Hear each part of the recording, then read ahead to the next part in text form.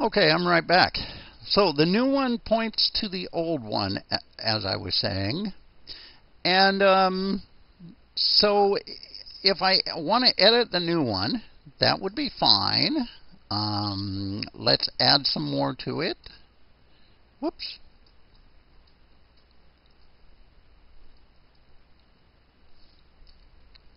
More. More. More. A mole. Well, more. Okay. And we'll save that.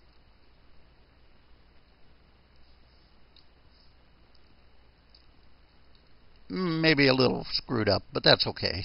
It works. Um, so if we list this file, we get the right thing. If we list this file, we get the right thing. So it's working correctly. But if I delete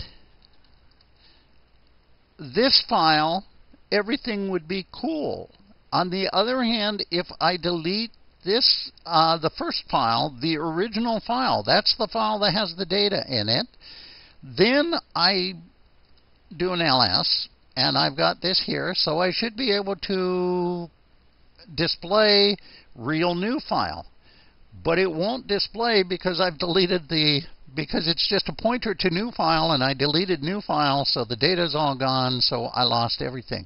So I've got to be careful on what I delete when I'm using a symbolic link. As an example, if I would delete my original data file up here, which is a hard link, notice the number of hard links went from 3 to 2. And if I want to um, display that, it displays just fine. That's because the data is still there. It's just simply um, under another name.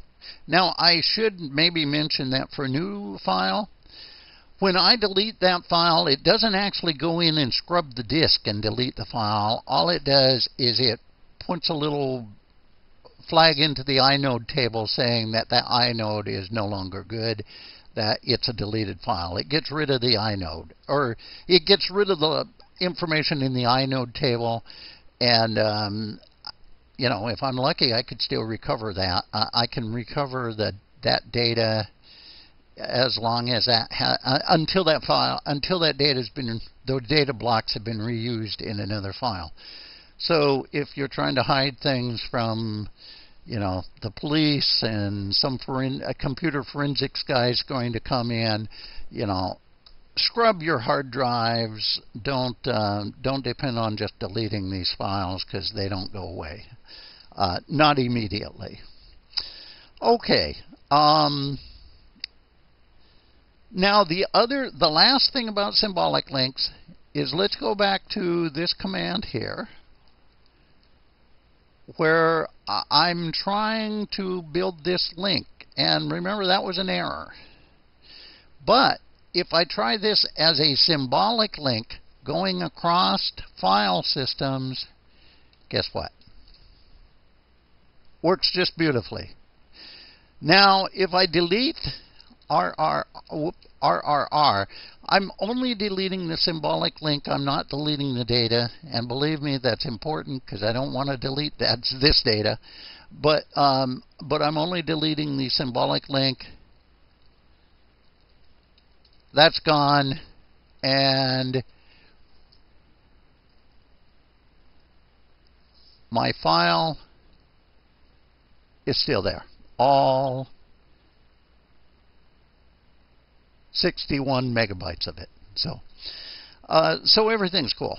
Um, symbolic links I find to be really useful. I use a lot of symbolic links. Uh, one thing that makes them really useful is suppose I make a file system and my slash home directory is too small or proves to be too small. Uh, one thing I might do is I might add a new hard drive to my system, another, you know, six gigabyte, uh, terabytes or whatever. And instead of trying to rebuild the system or anything, I will just um, rename home to being home.alt. I will then um, use the link command to create a symbolic link to my new to a directory on my new disk drive, which will then look just like slash home slash whatever user it is, copy everything into that new drive, and I'm in business. I never even took down the system. Um, well, unless I had to take down the system to put the new hard drive in. But if it's a um, external hard drive, I never took down the system. I never did anything, and I just added a lot of data and capacity to the system. That is really cool.